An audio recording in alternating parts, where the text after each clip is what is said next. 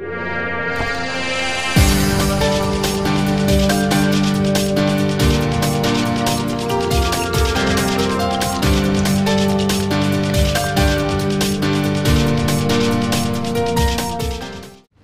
Friends అందరికీ నమస్కారం. నేను మీ శ్రీనాథ్. ఫ్రెండ్స్ ఇవాళ ముఖ్యాంశాలకు వస్తే ముందుగా కువైట్ ముఖ్యాంశాలు చూద్దాం. కువైట్లో ప్రజెంట్ ఏదైతే ఈ కానూన్ ఉందో ఆ కానూన్ని భారతీయులందరూ బాగానే ఉపయోగించుకుంటున్నారు. అయితే ఇప్పుడు కొంతమంది ఈసీఎస్ సర్టిఫికేట్లకి అప్లై చేస్తున్నారు కదా. వాళ్ళకి ఇంకా సర్టిఫికేట్లు అయితే వాళ్ళకి ఇంకా కొంతమంది హ్యాండ్ ఓవర్ చేయలేదు. సో దానికి ఎంబసీ ఏం చేస్తుందంటే ఎంత తొందరగా వీలైతే అంత తొందరగా అందించడానికి ప్రయత్నిస్తున్నారు. ఒకవేళ అందించడం లేట్ అయినా సరే ఈ నెలాఖరికి మళ్ళీ ఇరవై ఐదో తేదీ నుంచి ముప్పై తేదీ వరకు అన్ని దేశాల వాళ్ళకి పర్మిషన్ ఉంది. ఎవరైనా మిగిలిపిన వాళ్ళు ఉంటే అందరూ ఆ టైంలో వెళ్ళొచ్చు. సో అప్పుడు ఈ ఈసీఎస్ ఈసీఎస్ లెటర్లు ఎవరైనా పెండింగ్ ఉంటే కనుక అప్పుడు వెళ్ళడానికి అవకాశం ఉంది. సో ఏం భయపడద్దండి టెన్షన్ పడాల్సిన అవసరం లేదు. ఓకేనా?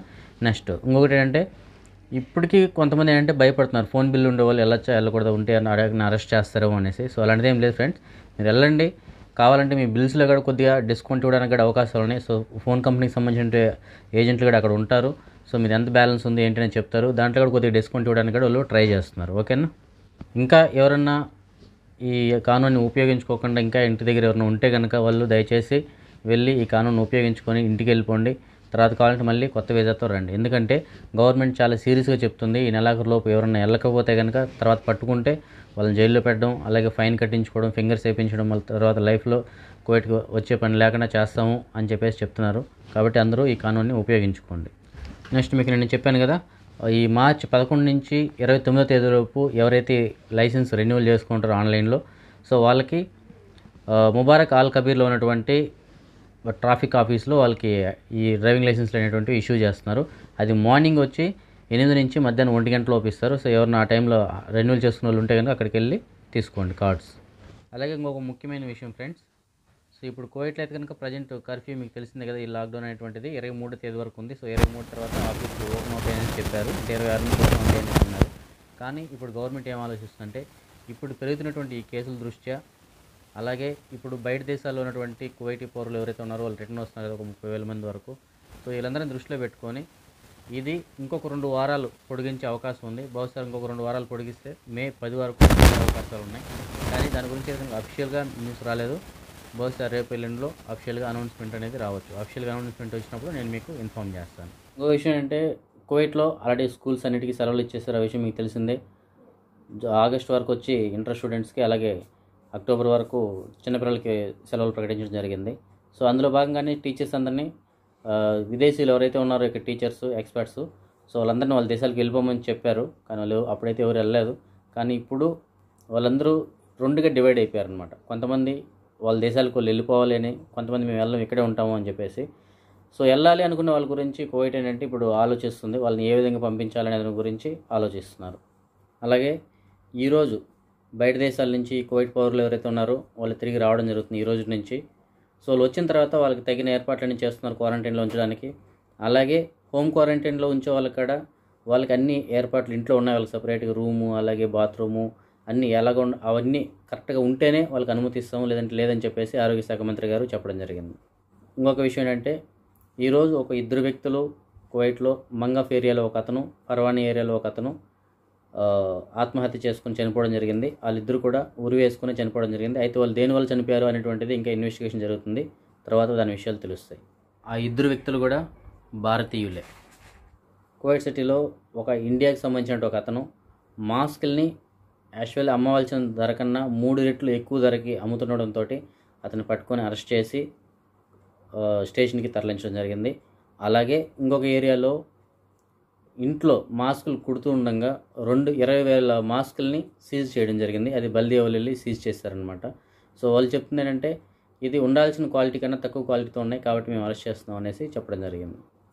అలాగే కువైట్ మరియు ఇరాక్ సరిహద్దుల్లో ఇరాక్ నుంచి వస్తున్నటువంటి ఒక ఆరుగురిని కువైట్ పోలీసులు అరెస్ట్ చేయడం జరిగింది. సో వాళ్ళు ఏంటంటే కొన్ని మాదక ద్రవ్యాలను తీసుకొస్తున్నారు కువైట్కి. సో దా ఆ సందర్భంలో వీళ్ళని పట్టుకొని అరెస్ట్ చేయడం జరిగింది. ఇప్పుడు మన ఇండియా విషయానికి వస్తే కనుక ఇండియాలో ఇండియా మొత్తం పైన ఇప్పటివరకు నమోదైనటువంటి కేసుల్లో ఇరవై తొమ్మిది పాయింట్ ఎనిమిది పర్సెంట్ అంటే దగ్గర దగ్గర ముప్పై శాతం మంది ఈ మర్కజ్ ప్రార్థనలకు ఎవరైతే వెళ్ళొచ్చారో సో వాళ్ళ కారణంగానే వ్యాప్తి చెందింది. అంటే వాళ్ళకి అలాగే వాళ్ళ నుంచి ఇంకొకరికి అంటుకో ఉంటుంది కదా సో ఆ విధంగా వచ్చినవి ముప్పై శాతం కేసులు ఉన్నాయనేసి గవర్నమెంట్ ప్రకటించడం జరిగింది. అది మన ఆరోగ్య శాఖ సంయుక్త కార్యదర్శి అయినటువంటి లవ్ అగర్వాల్ గారు చెప్పడం జరిగింది. దేశం మొత్తం మీద ఈ కర్ఫ్యూ కారణంగా ఇప్పుడు ఏదైతే కఠినంగా అమలు చేస్తున్నారో దాని కారణంగా గడిచిన పద్నాలుగు రోజుల్లో నలభై ఐదు జిల్లాలలో ఒక కేసు కూడా కొత్త కేసు నమోదు అవ్వలేదు అని చెప్పేసి గవర్నమెంట్ ప్రకటించడం జరిగింది. తెలంగాణ ప్రభుత్వం ఇంకొక నిర్ణయం తీసుకుంది. అదేంటంటే మే మూడు వరకు దేశవ్యాప్తంగా లాక్డౌన్ ఉంది. అది అందరికీ తెలిసిన విషయమే. అయితే తెలంగాణ ప్రభుత్వం ఏంటంటే ఇంకొక నాలుగు రోజులు పెంచి మే ఏడు వరకు సేమ్ ఇదే విధంగా లాక్డౌన్ ఉంటుంది. అందులో ఎలాంటి సడలింపులు ఉండవు అని చెప్పేసి తెలంగాణ ప్రభుత్వం ఇవాళ సాయంత్రం ప్రెస్ మీట్లో చెప్పడం జరిగింది. అలాగే గుంటూరు జిల్లా కలెక్టర్ గారు ఒక విషయం చెప్పారు. సో గుంటూరు జిల్లాలో ఎక్కడైతే రెడ్ జోన్స్ ఉన్నాయో ఆ రెడ్ జోన్స్లో ఎవరైతే అద్దెకుంటారో ఇండ్లలో సో వాళ్ళని ఎట్టి పరిస్థితుల్లోనూ అద్దె అడగకూడదు. అలాగే అద్దె అడిగితే కనుక ఆ ఇంటి యజమాని ఎవరైతే ఉంటారో అతనిపైన కేసు నమోదు చేయడం జరుగుతుంది అని చెప్పేసి చెప్పడం జరిగింది. ఇదే విధంగా చాలా రాష్ట్రాల్లో చాలా జిల్లాల్లో చాలామంది ఈ విధంగా చెప్పిండారు. సో ఇది మన మన దేశంలో అయితే కనుక మ్యాక్సిమం చాలా వరకు ఎవరైతే రెంట్లు అడగట్లేదు బహుశా ఎవరిని అడిగితే కనుక ఇలాంటి చర్యలు తీసుకునే అవకాశం ఉంది. ఇప్పుడు ఇండియాలో అలాగే మన తెలుగు రాష్ట్రాల్లో ఒక వీడియో చాలా వైరల్ అవుతుంది. అదేంటంటే లోకమణి అనేటువంటి ఒక ఆవిడ ఒక ప్రైవేట్ స్కూల్లో ఆయాగా పనిచేస్తుంది. సో ఆవిడకి ఏంటంటే మూడు వేల ఐదు వందల రూపాయల జీతం వస్తుంది. ఆవిడ తూర్పుగోదావరి జిల్లాలో తుని దగ్గర ఉన్నటువంటి ఒక గ్రామంలో ఉంది ఆవిడ. సో ఆవిడ ఏంటంటే రోజు స్కూల్కి వెళ్ళి వచ్చేటప్పుడు అక్కడ కర్ఫ్యూలో ఉన్నటువంటి పోలీసు వాళ్ళని చూసేది. సో ఆవిడ వాళ్ళని చూసి వాళ్ళ బాధ చూసి వీళ్ళు ఇంత మన కోసం ఇంత కష్టపడుతున్నారా అని చెప్పేసి ఆవిడ మనం జీతం తీసుకొని వస్తున్నాం ఆవిడకి వచ్చిన మూడు వేల ఐదు వందల రూపాయల జీతంలో రెండు పెద్ద కూల్ డ్రింక్స్ బాటిల్ తీసుకెళ్ళి వాళ్ళకి ఇవ్వడం జరిగింది. సో అక్కడ పోలీసు వాళ్ళు దాన్ని చూసి ఆనందాన్ని తట్టుకోలేక సో వద్దమ్మా మీరే తీసుకెళ్ళండి అని చెప్పేసి వాళ్ళ దగ్గర ఉన్న బాటిల్స్ కూడా ఆవిడకే ఇచ్చి పంపించడం జరిగింది. సో ఆనందంలో ఆ పోలీసు వాళ్ళు ఆ వీడియో తీసుకొని దాన్ని షేర్ చేయడం జరిగింది. అది ఇప్పుడు దేశం మొత్తం మీద వైరల్ అయిపోయింది. సో పోలీసులు ఏం చెప్తున్నారంటే ఇలాంటి వాళ్ళు ఉండడం బట్టే సమాజంలో మాలాంటి వాళ్ళకి ఇంకా కొద్దిగా పేరు అనేది ఉంది. సో ఇలాంటి వాళ్ళు సమాజంలో ఉండాలి. సో అలాంటి వాళ్ళకి మా సెల్యూట్ అని చెప్పేసి ఆంధ్రప్రదేశ్ డీజీపీ అయినటువంటి గౌతమ్ సావాంగ్ గారు సెల్యూట్ చేశారు ఆవిడకి. ఓకే ఫ్రెండ్స్ ఇప్పుడు మనం ఈ వ్యాధికి సంబంధించిన అప్డేట్స్ చూద్దాం. ముందుగా కువైట్ విషయానికి వస్తే కనుక కువైట్లో ఇవాళ కొత్తగా నూట అరవై నాలుగు కేసులు నమోదవడం జరిగింది. దాంతో కలిపి మొత్తం ఇప్పటివరకు నమోదైన కేసులు అయితే కనుక పంతొమ్మిది వందల పదిహేను. అందులో పదహారు వందల మూడు మంది ఇప్పటివరకు ఈ వ్యాధికి ట్రీట్మెంట్ తీసుకుంటూ ఉండగా మూడు వందల ఐదు మంది ఇప్పటివరకు ఈ వ్యాధి నుంచి కోలుకొని ఇంటికి వెళ్ళడం జరిగింది.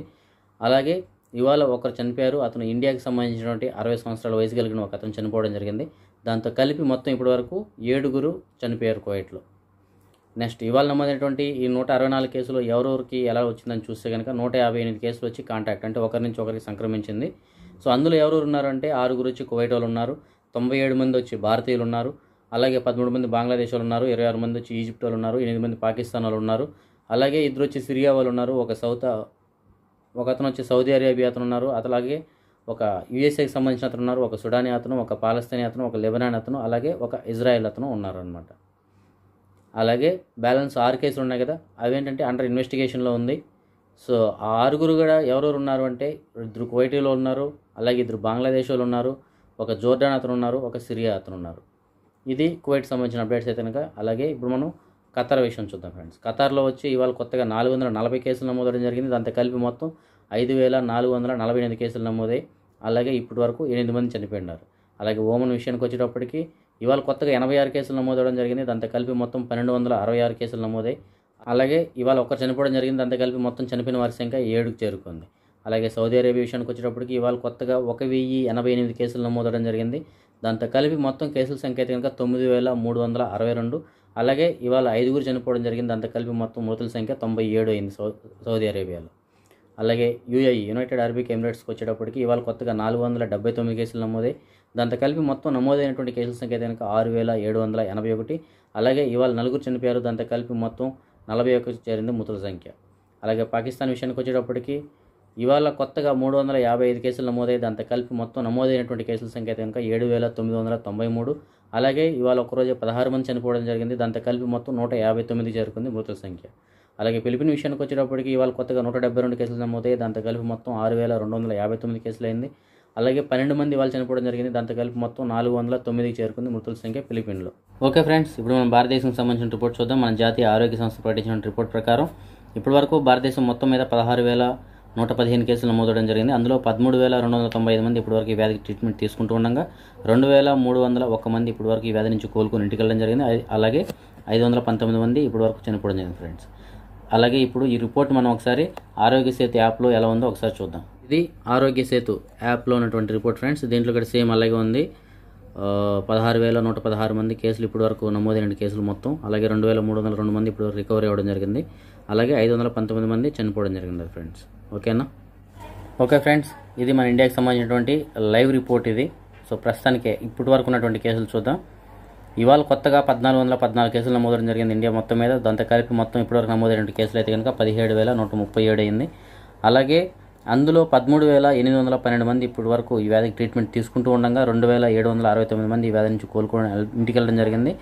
అందులో ఇవాళ ఒక్కరోజే మూడు వందల మూడు మంది కోలుకోవడం జరిగింది. అలాగే దేశం మొత్తం మీద ఇవాళ ఒక్కరోజు ముప్పై ఐదు మంది చనిపోవడం జరిగింది. దాంతో కలిపి మొత్తం మృతుల సంఖ్య అయితే కనుక ఐదు వందల యాభై ఆరు. అదే మనం రాష్ట్రాల వారిగా కనుక తీసుకున్నట్టయితే కనుక మహారాష్ట్రలో ఇవాళ అత్యధికంగా ఐదు వందల యాభై రెండు కేసులు నమోదవడం జరిగింది. దాంతో కలిపి మొత్తం కేసుల సంఖ్య అయితే కనుక నాలుగు వేల రెండు. అలాగే రెండు వందల ఇరవై మూడు మంది ఇప్పటివరకు ఆ రాష్ట్రంలో చనిపోవడం జరిగింది. అలాగే ఢిల్లీ విషయానికి వచ్చేటప్పటికి గడిచిన ఇరవై నాలుగు గంటలు ఏదైనా కొత్త కేసులు ఏమి నమోదు అవ్వలేదు సో ఇప్పటి వరకు ఉన్న కేసులు అయితే కనుక పద్దెనిమిది వందల తొంభై మూడు అలాగే నలభై మూడు మంది చనిపోయినారు. గుజరాత్ విషయానికి వచ్చేటప్పటికి పదిహేడు వందల నలభై మూడు కేసులు నమోదు కాగా అరవై మూడు మంది చనిపోయినారు. అలాగే తమిళనాడులో పద్నాలుగు వందల డెబ్బై ఏడు కేసులు నమోదు కాగా పదిహేను మంది చనిపోయినారు. రాజస్థాన్లో పద్నాలుగు వందల ముప్పై ఒక కేసులు నమోదు కాగా ఇరవై రెండు మంది చనిపోయినారు. అలాగే మధ్యప్రదేశ్ విషయానికి వచ్చేటప్పటికి పద్నాలుగు వందల ఏడు కేసులు నమోదు కాగా డెబ్బై రెండు మంది చనిపోయినారు. అలాగే ఉత్తరప్రదేశ్ విషయానికి వచ్చేటప్పటికి ఒక వెయ్యి తొంభై తొమ్మిది కేసులు నమోదు కాగా పదిహేడు మంది ఇప్పటి వరకు చనిపోయినారు ఫ్రెండ్స్. అదే కేరళ విషయానికి వచ్చేటప్పటికి ఇప్పటి వరకు నాలుగు వందల ఒక కేసు నమోదైంది. అలాగే ఇద్దరు మంచి ఇద్దరు చనిపోయినారు. కర్ణాటక విషయానికి వచ్చేటప్పటికి మూడు వందల తొంభై కేసులు నమోదు కాగా పదహారు మంది చనిపోయినారు. అలాగే జమ్మూ కాశ్మీర్ విషయానికి వచ్చేటప్పటికి మూడు వందల యాభై కేసులు నమోదై అలాగే ఐదుగురు చనిపోయినారు. వెస్ట్ బెంగాల్ విషయానికి వచ్చేటప్పటికి మూడు వందల పది కేసులు నమోదు కాగా పన్నెండు మంది చనిపోయినారు. అలాగే హర్యానా విషయానికి వచ్చేటప్పటికి రెండు వందల యాభై కేసులు నమోదు కాగా ముగ్గురు చనిపోయినారు. పంజాబ్లో రెండు వందల నలభై నాలుగు కేసులు నమోదు కాగా పదహారు మంది చనిపోయినారు. అలాగే బీహార్లో తొంభై మూడు కేసులు నమోదు కాగా ఇద్దరు చనిపోయినారు. ఒడిశాలో అరవై ఒక కేసులు నమోదు కాగా ఒకరు చనిపోయినారు. అలాగే ఉత్తరాఖండ్లో నలభై రెండు కేసులు నమోదయ్యి జార్ఖండ్లో వచ్చి నలభై ఒక కేసులు నమోదు కాగా ఇద్దరు చనిపోయినారు. అలాగే హిమాచల్ ప్రదేశ్లో ముప్పై తొమ్మిది కేసులు నమోదు కాగా ఇద్దరు చనిపోయినారు. ఛత్తీస్గఢ్లో ముప్పై ఆరు కేసులు నమోదై అలాగే అస్సాంలో ముప్పై నాలుగు కేసులు నమోదు కాగా ఒకరు చనిపోయినారు. అలాగే చండీగఢ్లో ఇరవై ఆరు కేసులు నమోదయ్యి లడఖ్లో పద్దెనిమిది అండమాన్ నికోబార్లో పదిహేను మేఘాలయలో పదకొండు కేసులు నమోదు కాగా ఒకరు చనిపోయినారు. అలాగే గోవాలో వచ్చి ఏడు పుదుచ్చేరిలో ఏడు మణిపూర్లో రెండు త్రిపురలో రెండు అరుణాచల్ ప్రదేశ్లో ఒకటి మిజోరాంలో ఒకటి నాగాలాండ్లో ఒక కేసు చొప్పున ఇప్పటివరకు భారతదేశం మొత్తం మీద నమోదైన ఫ్రెండ్స్. అదే మనం ఒకసారి తెలుగు రాష్ట్రాల విషయానికి వస్తే కనుక ముందుగా తెలంగాణ విషయాన్ని చూద్దాం. తెలంగాణలో అయితే కనుక ఇవాళ కొత్తగా నలభై తొమ్మిది కేసులు నమోదవడం జరిగింది.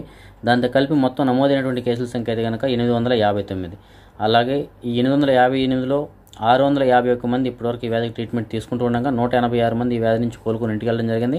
అలాగే ఇరవై ఒక్క మంది ఇప్పటివరకు తెలంగాణలో చనిపోవడం జరిగింది ఫ్రెండ్స్ అదే తెలంగాణలో మనం జిల్లాల వరకు కనుక తీసుకున్నట్టయితే కనుక హైదరాబాద్లో ఇప్పటివరకు మొత్తం నమోదైనటువంటి కేసులు అయితే కనుక నాలుగు వందల నలభై ఎనిమిది అలాగే నిజామాబాద్లో యాభై ఎనిమిది సూర్యాపేటలో నలభై మూడు వికారాబాద్లో ముప్పై మూడు జోగులాంబ గద్వాల్లో ఇరవై ఆరు రంగారెడ్డిలో ఇరవై ఐదు వరంగల్ అర్బన్లో ఇరవై ఒకటి కరీంనగర్లో పంతొమ్మిది నిర్మల్లో పదిహేడు నల్గొండలో పదమూడు మహబూబానగర్లో పదకొండు కామారెడ్డిలో పదకొండు ఆదిలాబాద్లో పదకొండు అలాగే సంగారెడ్డిలో ఏడు ఖమ్మంలో ఏడు మేడ్చల్ మల్కజిగిరిలో ఆరు మెదక్లో ఐదు భద్రాద్రి కొత్తగూడెంలో నాలుగు రాజన్న సిరిచల్లో మూడు కమ కుమరంభీం ఆసిఫాబాద్లో మూడు జయశంకర్లో మూడు జగిత్యాల్లో మూడు అలాగే పె పెద్దపల్లిలో రెండు నాగర్ కర్నూలులో రెండు ములుగులో రెండు జన్గోన్లో రెండు సిద్దిపేటలో ఒకటి మహబూబాబాద్లో ఒకటి అలాగే డెబ్బై ఒక కేసు ఇంకా ఏ జిల్లాలో అనేటువంటిది ఇంకా ప్రకటించలేదు.